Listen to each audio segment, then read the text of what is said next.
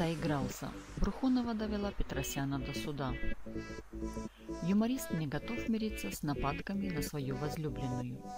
Не так давно Виктор Коклюшкин высказал свое мнение относительно брака своего коллеги по цеху. Писатель-сатирик заявил, что на его взгляд Татьяна Брухунова вовсе не тот человек, который нужен Евгению Петросяну. Коклюшкин посетовал на тот факт, что из-за нее известный комик практически перестал появляться на Вагановичу такой выпад со стороны друга не понравился. Представители артиста заявили Стархиту, что он намерен привлечь к ответственности Коклюшкина за его высказывания. Указанные фразы однозначно являются оскорблениями, так как они направлены на унижение ее чести и достоинства, сообщили представители.